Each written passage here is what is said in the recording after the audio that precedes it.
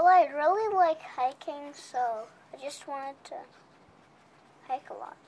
Well, the first hike that we did, uh, Mount Juneau, Was the Alpine? I wasn't sure if he would do it or if he would like it, and uh, it worked out really well. And we were hiking with a guy that had said he planned on hiking the Big Five this summer, and that just kind of stuck in his head. And so, whenever I had a day off and it was a nice day, he wanted to climb a mountain, and uh, kept wanting to climb McGinnis. And I told him we better do the four shorter ones first to make sure that both of us were in shape to do it. And uh, and he did great on all of the hikes. Usually beat me to the top, and then last Friday we did McGinnis. He did great on that. I just like exercise and well, you.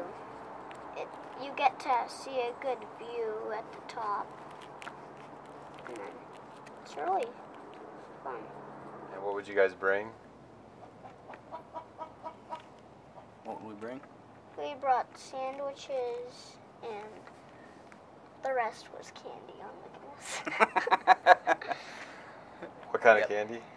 gummy worms and gummy rabbits and jelly beans and All those were from our friends, though, right? no, Oh, really? Did Mom packed those for you? yeah, Nice. and and granola bars with chocolate chips and stuck together with honey. I know that the McGinnis is the highest at about 4,200. I think Roberts is 38. Juneau's about 33. Jumbo's about 33. Thunder's, I think, about 31. I didn't write them down, but I did look them up. I think that's Yeah. Roughly clo- close, yeah.